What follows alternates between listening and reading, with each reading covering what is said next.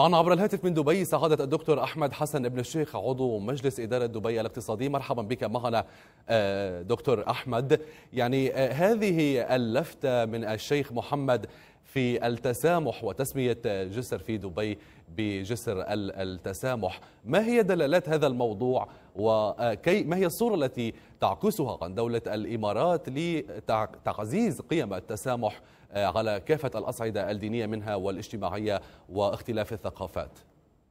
أول شيء مرحبا بكم ومساء الخير لك وللمشاهدين والمستمعين. أهلا بك. طبعا الخطوة هذه خطوة اللي نشوفها هي تسمية جسر إنما حلقة في سلسلة طويلة. إذا رجعنا إلى دولة الإمارات كدولة دولة حاضنة إلى أكثر من 200 جنسية وطبعا تزيد عليهم الثقافات الموجودة والديانات المختلفة واللغات المتشابكة.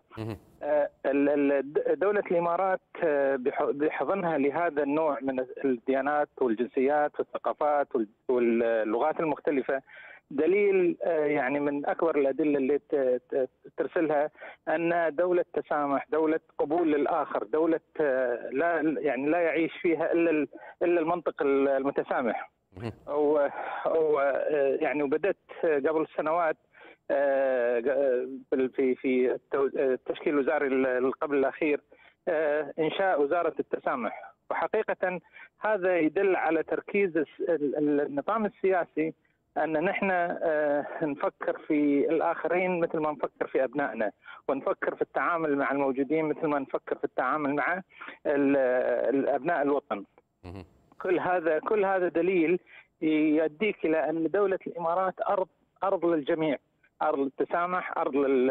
يعيش عليها الجميع نعم يعني دبي دائما ما تفاجئنا على كل الأصعدة اقتصاديا سياسيا واجتماعيا ويعني معروف عن حكومة دبي وزارة السعادة وكما قلت وزارة التسامح حضرتك دكتور أحمد هي الأولى من نوعها في العالم إضافة إلى الخطوات الأخيرة في الحكومة حكومة دبي إدخال وجوه شابة وصاعدة جدا في تلك الحكومة.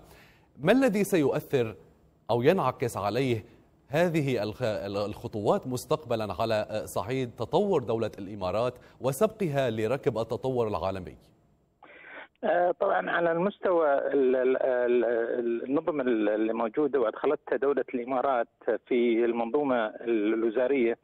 هذا دليل على أن دولة الإمارات تمشي بخطى لا تلتفت فيها إلى الآخرين. إن إنما ترسم طريقها وخطتها لما تراه دولة الإمارات لنفسها من طريق إبداعي يختلف عن طريق الآخرين وطريق يوصل إلى تكامل المجتمع ونسيج المجتمع سواء كان هذا النسيج من أبناء الوطن أم المتواجدين عليه.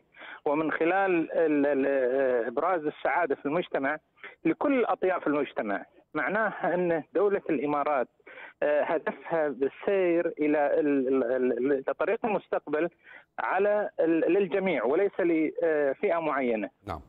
أشكرك جزيل الشكر الدكتور أحمد حسن بن الشيخ عضو مجلس إدارة دبي الاقتصادي كنت معنا عبر الهاتف مباشرة من دبي